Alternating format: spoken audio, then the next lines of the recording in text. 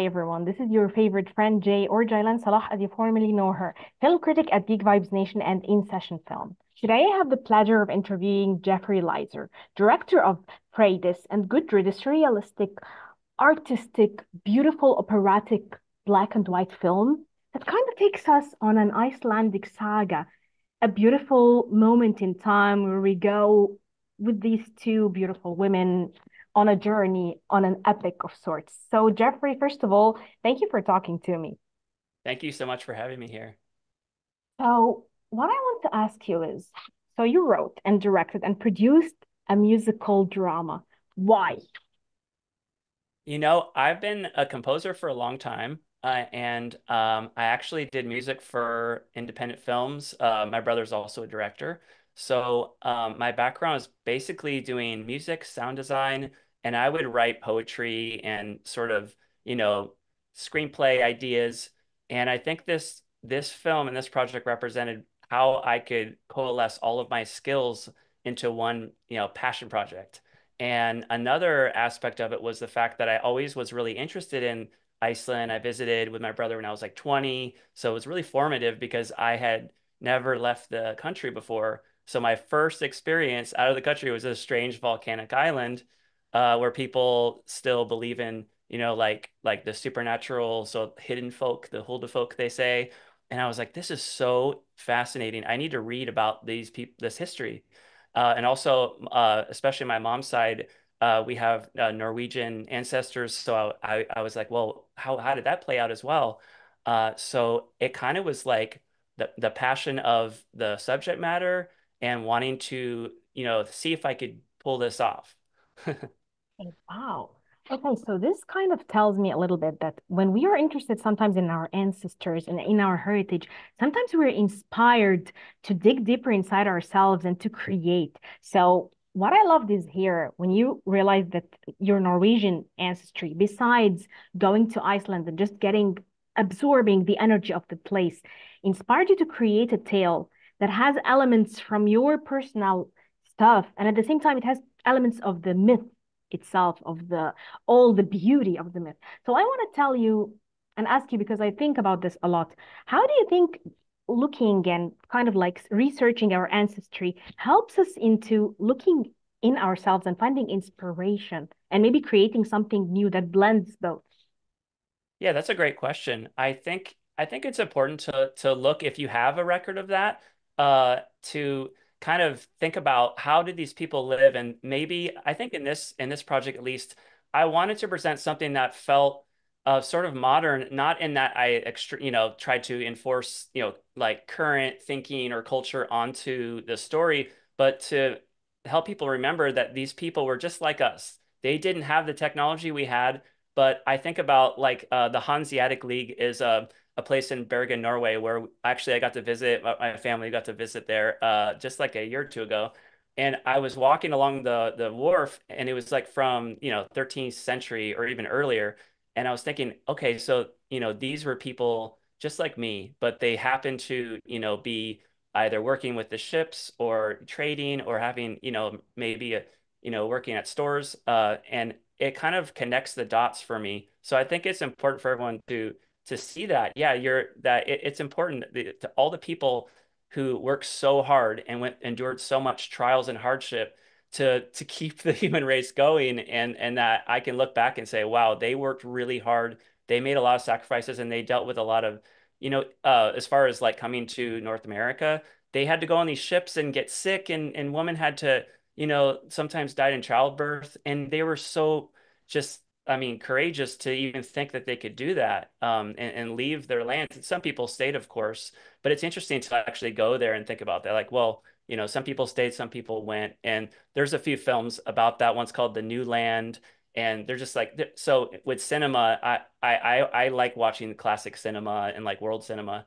Uh, so I like to look at these things and and and again, like with my project, I'm trying to have that sort of slice of life of like what represents you know my journey and and how I can use my gifts to you know to to basically tell the story with the means that I have and try to be creative in that.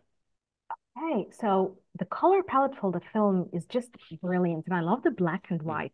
So I want to know your inspiration for it and why you felt that you needed to tell the story in that particular color palette. Yeah, that's a great question because I had an edit in both uh, color and black and white. Of course, we shot it in color.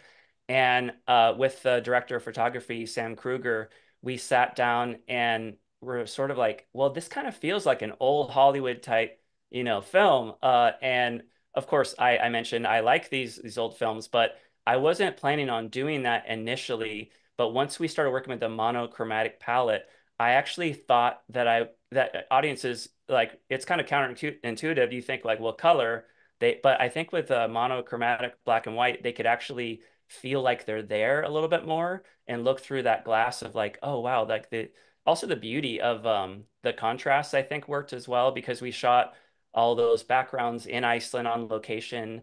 And of course, we shot uh, some as well with uh, Mikaela, who plays uh, Gudrid. But um, we also did a lot of filming, most of it in a, on a soundstage. So I think to marry the foreground and background ended up working better on a technical level as well. But like I I love these old these old black and white films like they're on TCM and like I think with with just like my experience on even theatrical movies like there's old theatrical movies movies like Laurence Olivier did with the Shakespeare and Orson Welles and so I always remember those films and even ones later like there's a film with Johnny Depp called Dead Man it's shot in oh, black love and Jim white Jarmusch. Oh, yeah Jim Jarmusch and I can. It's I know he's brilliant. he's brilliant and I I can't imagine that movie in color after I No, you know too. So, so I think it's just beautiful. You know, I thought of doing maybe like muted or some color. And I, the only color, of course, is the credits have paintings from my friend Heidi that I wanted to show the way she painted them because we hadn't quite made that decision at the time. And I commissioned her to paint uh, one painting per scene. And um, I used it I, I, in the credits. I was gonna maybe think of it as chapter markers, but I, it was disrupting the flow of the narrative to to have the paintings uh, throughout the film so uh, I included them at the end. So that's that's how that happened. The paintings were beautiful too. I was just gonna tell you Thank you. about. Oh, thank you.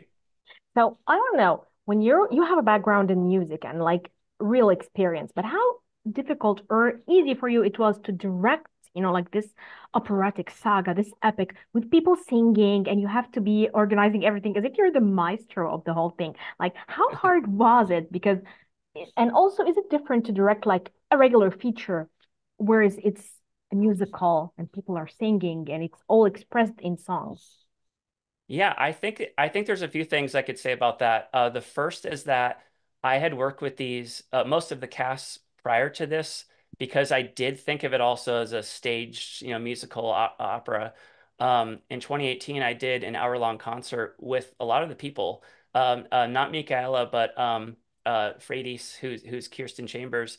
Uh, I'd worked with her and and yeah, a lot of the other casts. So when it came time to filming, I felt very comfortable with them and I'd also been friends with them. I mean, we had friends from all over, like friends from church or friends from just like our network in New York, uh, New York City, where uh, I lived for a long time until recently. So, uh, kind of, it was kind of like a homecoming, like a, a when we all got together and started rehearsals, it was like friends, you know. And I think that you get the best performances when you have that kinship together. Um, and also, I think, um, I think there's a sort of hack with uh, musicals where uh I know that the performers are also like good actors, but I think when you're doing a musical, because they're so talented at singing and selling a performance as you know, stage people, I think in the, even with film, some of the best actors come from the stage because they're used to doing one take, you know, like they're on. And so we didn't have a lot of time to film. So when we did roll camera, it wasn't like we had to do a bunch of takes, but also it's hard because they're doing a song. Like, how are you going to stop a song a million times? Like it, so we basically wanted to have three good takes. We with each um, three cameras doing like three camera angles. So we ended up having like nine angles per, you know, scene. Uh, and there's a lot of continuity there. It has to be perfect. But they're again like because they're theater people, uh, opera sort of people. They like they get it. Like scene blocking, eh, they're they're on it. So I felt like uh, as far as the dra dramatic performances, if you're going to have a lower budget film like this, you better have really good performances. And I was really pleased with, you know, how how they delivered. I was just gonna ask you about Michaela and Kristen because Mm, they're amazing. And when I read the resumes, I was like surprised. All mm, this like previous roles, like playing lead in Tristan and Isolde or Salome, or just being in Andre Rieu, like Symphony. What is this? Oh I want to know, they're your friends, but how was the casting and how did you bring them together to create, you know, like Freydis and Gudrid? Well, I have a really good story about Michaela because I didn't know her, but I had an aria from from this opera performed at at at a Carnegie Hall program. The the uh, man who put on the program had also written uh, something for Freydis, but just one song. And he, through Kirsten, he found out about my film, and he was like, "I want to have like another Freydis song on for this concert program."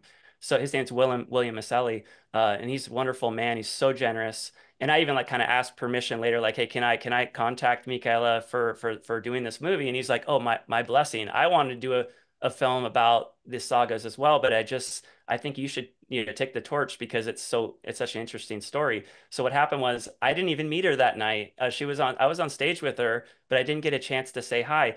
And then later, uh, the the Joni who played uh, her role for my uh, lab concert she said, "Oh, I'm I have a conflict. I'm not able to play the role." So I thought, "Wow, Michaela, she was perfect. Like I got to see her sing on stage, but she lived in Germany, and then COVID happened, and I I sent her an email. This is a crazy idea. COVID's happening. You're in Germany. If you can get out of the country." Could you come to New York and record the music and then record the film? And she actually did it, which Wow. is unreal. And I think also because she's so busy during COVID, she had the time to to take on a role like this.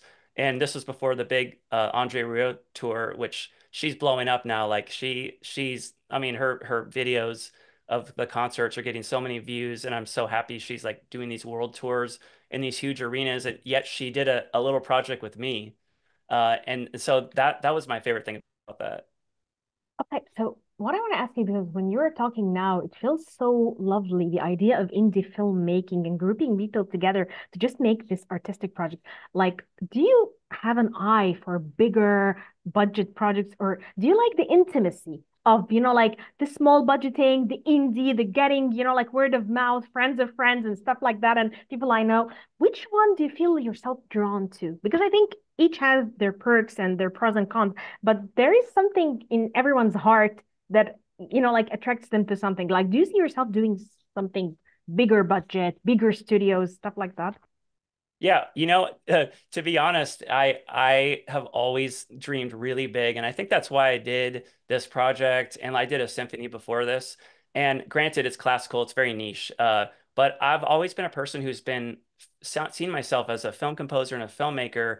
And even though I did like sort of this classical foray, I a lot of my projects or a lot of my screenplays are for large budget projects, whether that's like a TV series based on this or even directing or being part of a very large project. Like, so like Wagner did the the Ring Cycle, which is still performed on like opera stages all over the world. And I think they're like, for instance, that'd be a way you probably have to do a hybrid with dialogue because I don't think like opera's a hard sell, I, I think still. And even with this project, even though it is that, like I tried to make it more narrative and um, character driven for people who are sort of on the fence. But I I I do like dream of things that would take way too many millions of dollars for me to pull off. But the good thing nowadays is that with the right concept, you you know, there's a lot of streaming services that are looking for content. So my hope would be that, hey, if I can get involved with something like that, even if I'm, you know, just helping produce it, there's so many, there's just too many ideas out there. And so, yeah, I think um part of part of this project also is like showing that, hey, with a limited amount of money, I can pull off all these things. So imagine if you give me a little more, what I could do. definitely and i can see you doing that of course sometime near in the future because this is a brilliant project honestly so i'm Thank not you so much. ruling that out um okay so for every director there is a very difficult scene to shoot even if we as viewers feel like okay it wasn't that difficult but to the director that was difficult and there is a moment when you're behind the monitor or you're even in the set or back in the editing room where you watch and it exceeds your expectation and you feel like you're creating cinema this is magic this is what i've been living for tell me both moments Oh wow, that's great. Yeah, I think the the moment as far as like when we recorded on the sound stage that was most amazing to me, just on a visual standpoint as well, is like so this was a hard creative decision and I was very delicate about it. But when they when they when the Norse people are are speaking with you know, to uh, singing with the First Nations, Indigenous people, that there was something amazing about that moment because I thought, oh my gosh, like I, I don't know exactly what happened at that time period, but the fact that these two cultural people, cultured people had an interaction and I wanted to present it very equally. Like it's not like once one person's more advanced, one person's stronger. It was like more of an even playing field where like these these explorers were just trying to find you know uh, items to trade to during their famine and they came out and then you know like both parties seemed to you know benefit initially and like again I don't know what happened and it's it's such a it's tragic like obviously if you look at history like all the things that happen later on but there's something so pure about like the initial contact and just to see that and see that played out was kind of like scary but also amazing. Uh, and then I think the other moment was just seeing that Mikaela would get on an Icelandic horse and gallop without a helmet, without any uh, heart like you know safety protocols in in the actual place where Gudrid grew up. Like she, there's a volcano behind her, and that is exactly the the the spot where this woman, who you know, I'm just dreaming of how her life might have been through all of my research and documentaries. I mean, I, I made a documentary so many years ago about her when I went to Iceland, and to actually see this actress portray her in her homeland was incredible. So those were like kind of two moments that amazed me. Wow. So you've been fascinated by these women. I want to know why you, you felt like you wanted to tell the stories of women. Like, what compelled you the mm. filmmaker? Do you feel like they have richer lives? Do you feel like they're the ones that we should put to the front because I feel it. And I think what gave weight to the film was that we had these two strong, beautiful women mm. at the center of the narrative. Mm-hmm.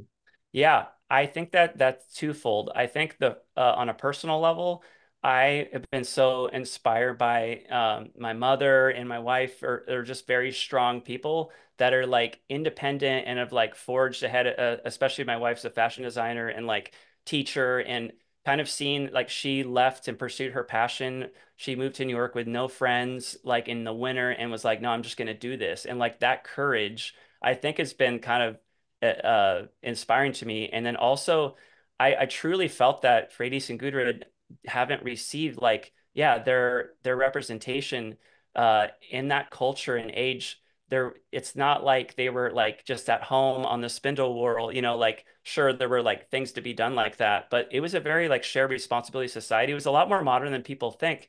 They had like a parliament way back in iceland where they settled disputes so it wasn't just like blood feuds and everything like sure we know those stories are out there as well. But also i think to ground the narrative and especially with the musical or opera project you need your dramatic soprano leads. You can't just have like a bunch of guys, you know, talking about like how they want to conquer and you know everything, like get into fights. And and like I tried to balance that out because of course, like there's dramatic moments like that as well. Like it's not like there wasn't, you know, it. I feel like the second half of the movie is more of that like love triangle and like because the first the first uh, part of it is about exploration and about sort of the poetry of every, everything they're feeling. But to have a good dramatic scenario, you have to set things up, of course, so you can resolve them.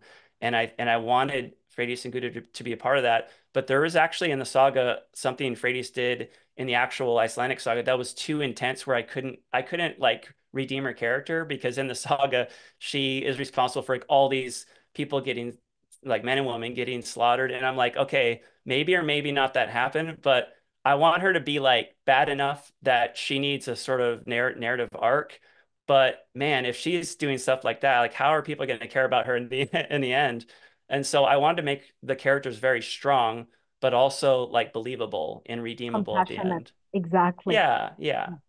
In a way. Oh, thank you, Jeffrey, so much. This was just an amazing interview. I love the thank film you. and I can't wait for the world to see it. It will be like in Regal Cinema July 9th. Yeah, so I, I I've I've had to switch the dates around a little bit, but what I for sure that in, in New York, uh, we're we're screening at on July 16th at the Scandinavia House and I'm going to post really soon about the other dates. Uh, because of Fourth of July weekend, things are getting shuffled a little bit. But um, it's it'll also be streaming on Amazon Prime on July 7th, as Perfect. well as Spotify, iTunes. Actually, the the album is is like 20, 25 minutes even longer because of things I had to cut out for the film. So if you like the music, definitely head over to iTunes or Spotify as well. I can't wait for this playlist. I gotta ask you for it. Yeah, oh, I'll give it to you. Okay. Thank you so much, Jeffrey. It was a pleasure talking to you. Yeah, thank you, Jaylan. Appreciate it.